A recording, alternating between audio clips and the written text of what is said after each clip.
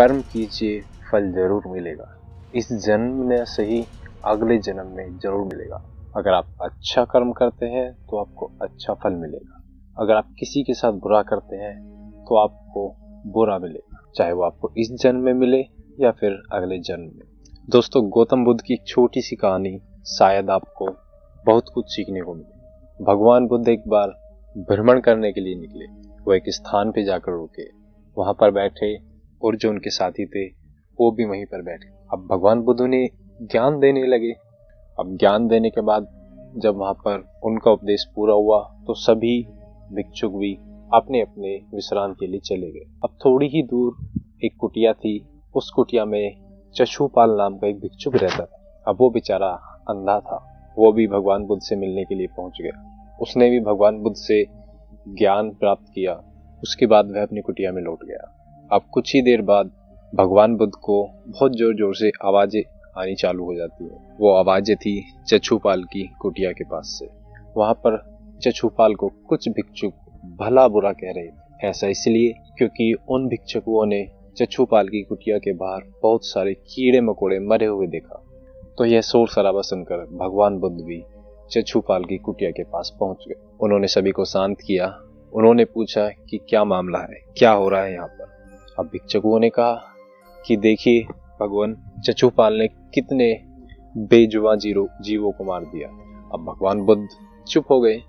फिर भगवान बुद्ध ने सभी भिक्षुकों से सवाल किया कि मुझे ये बताओ कि क्या तुमने चछुपाल को इन जीवों को मारते हुए देखा है? अब सभी भिक्षुक चुप हो गए। उन्होंने कहा, नहीं भगवान, हमने नहीं देखा। तो भगवान मुस्कुराए, बोले, इन जीवों को मरते हुए ना ही तुमने देखा है और ना ही चछुपाल ने देखा है। इन जीवों की मौत निश्चित थी, इसी दिन आनी थी, वो हो गई। इसमें ना तुम्हारा कोई दोष है, ना चशुपाल का अब वहाँ पर खड़े भिक्षुकों के मन में ये सवाल उठा कि भगवान चछुपाल अंधे क्यों हैं? ये इनके अब के कर्मों का फल है या पुनर्जन्म के कर्मों का फल है? तो भगवान मुस्कुराए। भगवान बोले, पिछले जन्म में चशुपाल एक चिकित्सक थे। अब इनके पास एक स्त्री आई अपनी आँखों का इलाज कराने के लिए। स्त्री बोली हे चिकित्सक, मेरी आँखें ठीक कर दो। अगर आप ऐसा करते हैं, मैं जीवन भर आपकी दासी बन के रहूँगी। अब चिकित्सक को तो अपना धर्म निभाना था। चचुपाल ने उस स्त्री की आँखें ठीक कर दी। उसके बाद वह स्त्री डर गई कि अब मैं इस चिकित्सक की दासी बन के रहूँगी। और डर गई। उसने दासी बनने से इनकार कर दिया। अब चचुपाल को बहुत गुस्सा आया। कि पहले इसने क्या कहा था और अब क्या कह रही है।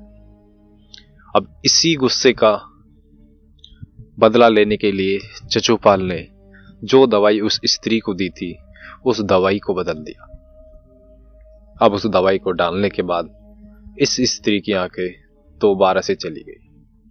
अब वो बहुत रोई, गिड़गिड़ाई, लेकिन चछुपाल का दिल नहीं पसीजा। वह नहीं माना। जब चछुपाल नहीं माने तो उस स्त्री ने तड़प तड़प कर श्राप दिया कि जाओ चिकित्सक, तुम भी मेरी तरह एक अंधे बनोगे। हे भिक्षुक ये उसी जन्म का श्राप है, जिस कारण चशुपाल आज अंधे हैं।